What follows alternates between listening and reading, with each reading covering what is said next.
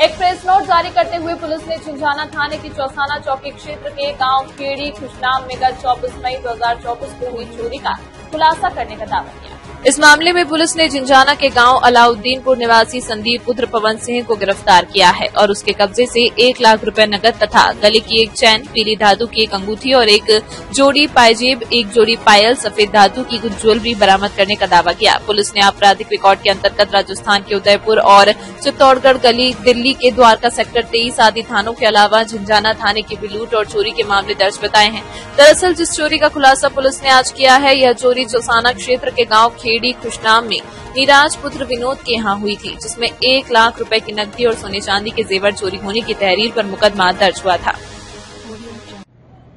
दिनांक 25 पाँच 2024 को थाना झिंझाना के अंतर्गत, चौकी चौसाना के अंतर्गत एक गाँव है, खेड़ी खुशनाम। वहाँ के व्यक्ति नीरज के द्वारा ये बताया गया कि तेईस चौबीस की रात्रि में उनके घर पे जो है चोरी कर ली गई जिसमें आभूषण और नकदी रुपए जो है चोरी किए गए।